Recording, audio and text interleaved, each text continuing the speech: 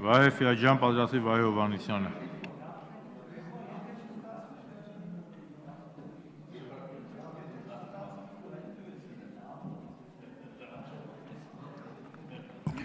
Շնորհակալություն։ Հարգելի գործընկերներ, մեզանից յուրաքանչյուրը իրականում այս բովանդակալից քննարկմանը մասնակցում է, իր կարծիքը, դիտարկումը ներկայացնում է կարևորելով այն գործառույթները, որոնք որ ամրագրված են սահմանադրությամբ հենց առաջին հերթին մարդու իրավունքների պաշտպանի այս ինստիտուտին եւ այն անհատին, ով պետքա հիմնական երաշխիքը հանդիսանա այդ գործառույթների անխափան իրականացմանը։ Նախ պետք է բարձրաձայնեմ այս բարձր ամբիոնից, որ Բարգավաճ Հայաստան կուսակցությունը եւ խմբակցությունը իր սեփական տեսլականն ուներ եւ մոտեցումն ուներ եւ կադրն ենք մենք ուզում ներկայացնել։ Խոսքս գնում է Մակար Եղիազարյանի մասին, ով բավականաչափ երիտասարդ լինելով հանդերձ նա որովիցե պետական պաշտոն չէր ստանձնել, բավականաչափ փորձ ուներ, ինչևէ այն իրավիճակը, որը որ ստեղծված է, հնարավոր չեղավ այդ անձին ներկայացնել այս գործընթացում որպես կողմ, որը որ կարողանար նաև իր մոտեցումները ցույց տալ այս հարցի վերաբերյալ։ Այնուամենայնիվ մոտեցումների հետ կապված, տեսանկյունի հետ կապված բան չի փոխվում։ Մենք ուզում ենք ունենալ մարդու իրավունքների ուժեղ ինստիտուտ, կայացած համակարգ եւ բնականաբար բանիմաց մարդ, ով որ պետք է առաջի դեմքով հանդես գա։ Պարոն Թաթոյան, ի սկզբանե որովիցե անց դուք ինքներդ էլ նկատեցիք, նաև բարձրաձայնեցին, որովիցե մեկը կասկածի տակ չի առնում ձեր իրավական գիտելիքները։ Բայց այն ռիսկերը, այն համոզմունքները կամ այն նախքին երևույթներն ու դրսևորումները, որոնք որ տեղի ունեցել Հայաստանի Հանրապետությունում, նաև մտահոգիչ են եւ մտորումների տեղիք են տալի եւ այս բարձր ամբիոնից մենք բարձրաձայնում ենք եւ մեր մտահոգություններն են կիսվում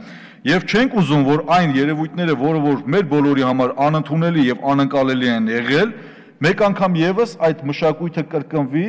եւ այս համատեքստում մենք մեր պատրաստակամությունն ենք նույնձև հայտնում, որ ապագայի հետ կապված յուրաքանչյուր այն նախաձեռնություն, որը որ միտված կլինի մարդու իրավունքների պաշտպանի ինստիտուտի կայացմանը, ամրապնդմանը, Բարգավաճ Հայաստան խմբակցությունը նման նախաձեռնությունների կողքին է լինելու, հայ մարդու կողքին է լինելու եւ յուրաքանչյուր այն նախաձեռնություն եւ մեր լիազորությունների սահմաններին, որ որ միտված կլինի մարդու իրավունքների պաշտպանությանը մենք կանգնած ենք լինելու նման գաղափարի կամ նման նախաձեռնության կողքին։ Ես ուզում եմ ամեն դեպքում դուք ձեր եզրափակիչ խոսքում մի քանի հարցերի հետ կապված ավելի մանրամասնեք եւ բարձաբանում մտցնեք։ Մենք Բարգավաճ Հայաստան խմբակցությունում ենք քննարկել այս հարցը,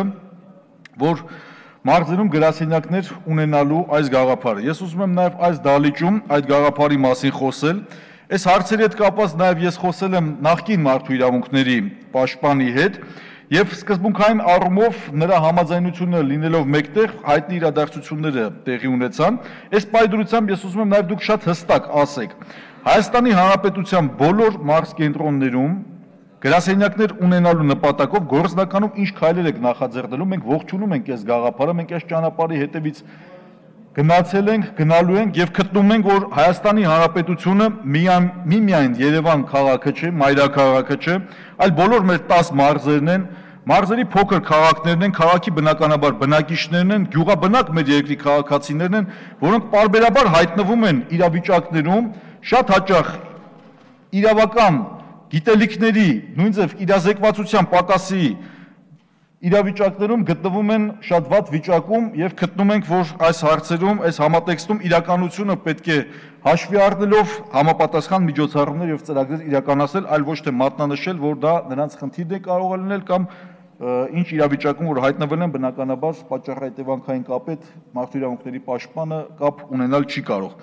Քանի որ խոսում ենք տարածքների հետ կապված, ուզում եմ մի փոքր մանրամասնել խնդիրներ, որոնց մասին ես բազմիցս անդրադարձել եմ եւ կուզենայի այս խնդիրների հետ կապված դուք ինքներդ էլ մանրամասնեիք։ Մեր խմբակցությունում մենք parberabar հանդիպում ենք քաղաքացիների հետ, ովքեր այս կամ այն ժամանակահատվածում արդեն քաղաքացիներ կան, որ շուրջ 1 տասնյակի է հասնում, իրենց սեփականության իրավունքն են զիջե, խոսքս գնում է հանրային գերակաշահ ճանաչված տարածքների մասին եւ զիջելով իրենց սեփականության իրավունքը հայտնվել են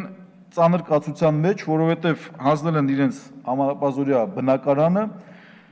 սեփականություն հանդիսացող հողատարածքը եւ այս պայդրությամբ աներանալի վիճակի մեջ են, սպասողական վիճակի մեջ են այս տարիների ընթացքում տարաբնույթ իրավիճակներ են փոխվում, մարդու իրավունքների պաշտպաններ են փոխվում, ում որ նաև ինստիտուցիոնալ ձևով գրություններ են ուղարկել եւ փաստացի այս պայդրության որովիցե հարցի լուծում չկա, բայց ուզում եի նաև դուք մանրամասնեիք այս հարցերին ինչքանով եք դուք տեղյակ եւ ինչ լուծումներ եք ինքներդ առաջարկում, որովհետեւ այս պայդրությամբ Ֆիրդուս Կոնտ, Եկմալյան, Արամի փողոց, Պուշկինի 8, Պուշկինի 10 Հին Երևան այս նախագծի հետ կապված բազմաթիվ մարդիկ, ովքեր որ ունեն նախնական պայմանագրեր, նախավճարի պայմանագրեր, հիմնական պայմանագրեր, նոտարով հաստատված փաստաթղթեր, այնուամենայնիվ հայտնվել են վատ վիճակում, սպասողական վիճակում, եւ այս սպասողական վիճակը մարդկանց համար արդեն դառնում է անտանելի, որովհետեւ ամեն ինչ իր չափ ու սահմանն ունի։ Ես կխնդրեի, որպեսի այս հարցերի հետ կապված եւս դուք մանրամասնեիք քվեարկության հետ կապված մեր խմբակցության ղեկավարը արդեն տեղեկացրեց, որ Բարգավաճ Հայաստան խմբակցությունը քվեարկելու է ազատ, իսկ սպասելիքները ձեր անձից եւ այն լիազորությունները, որոնք որ սահմանված են մարդու իրավունքների պաշտպանին, տված լիազորությունները եւ ինստիտուտին բավականաչափ մեծ են։ Հուսանք, որ դուք դրան կարողանաք իրականացնել։